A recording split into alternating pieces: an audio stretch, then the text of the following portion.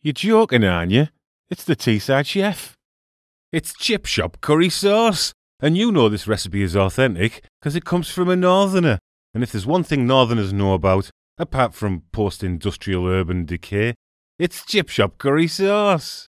And even though late capitalism might be destroying our society and environment, we can't decry capitalism completely because it was early capitalism, and that is to say mercantile capitalism, that introduced us to the spices we're using to make this wonderful delicacy. So I've got in a pan with a teaspoon of curry powder, a teaspoon of turmeric, and a teaspoon of Chinese five spice, and you do really need to use the five spice for this. I was very careful with a quarter of a teaspoon of salt, and I'll explain why I was so careful later on.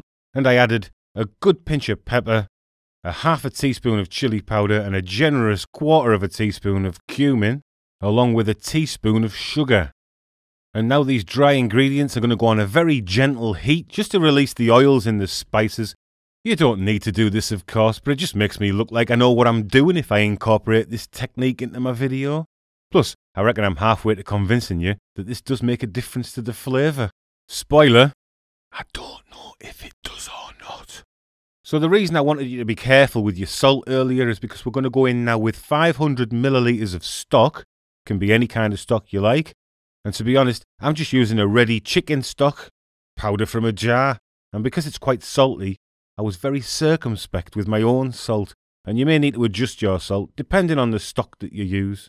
And once our dry ingredients are mixed into the stock, we can go in with 50 grams of butter or another solid fat, and we're going to let that melt in the pan nice and gently there.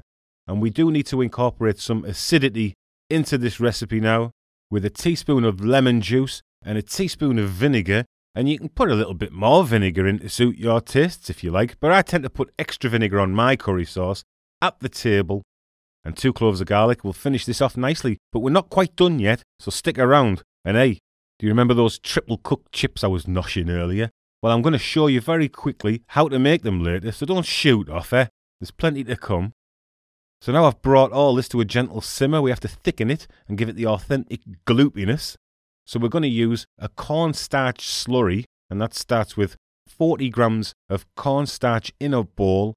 And now we want to pour around 100 to 150 milliliters of cold water into that. And we have to do this separately, otherwise we'll get cornstarch lumps in our curry sauce. And we also have to use cold water, or we won't get a smooth consistency to our rather unromantically named cornstarch slurry. Anyway, we can go ahead and pour the slurry in the curry. Ha! I'm a poet and I'm fully aware of it. Hurry, get this slurry in your curry in a flurry. Don't worry, Murray from Surrey. This is real food. Uh, that looked better written down than it actually sounded, to be honest. I've probably jumped the shark a bit there.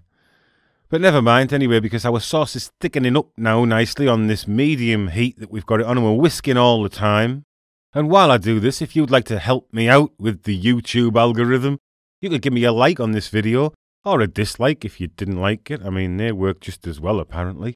And you can subscribe as well if you like and be my new friend, and you'll get a new video every Thursday, so, you know, there's no negatives in it for you, really. Anyway, I did one final taste to check the seasoning and everything was fine, and if you want to store this, you can store it in an airtight container covered in cling film in the fridge, but I do have to warn you, it will solidify and end up like this. But you can easily bring it back to life again by simply putting it in a pan on a medium heat, pouring in a good glug of water, and whisking quickly to a smooth consistency. And like any curry, really, this does taste better the next day. But now this has been brought back to life, I'm very, very quickly, and it will be quick, so don't worry, to show you how to make the best accompaniment to this chip shop curry sauce. Triple cooked chips, and you'll know these are authentic, because if there's one thing that Northerners know about, apart from governmental neglect and crippling unemployment, it's chips.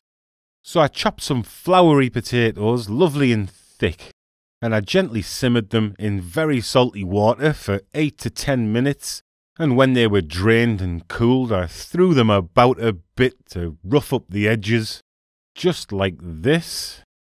They're fully cooled, remember, and I cooked them for 10 minutes in oil at 140 degrees Celsius, and that's around 200 85 Fahrenheit.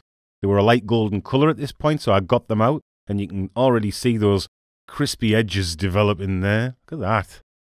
So when they'd cooled fully again, I cooked them again for around 8 minutes at 175 degrees Celsius, and that's about 350 Fahrenheit.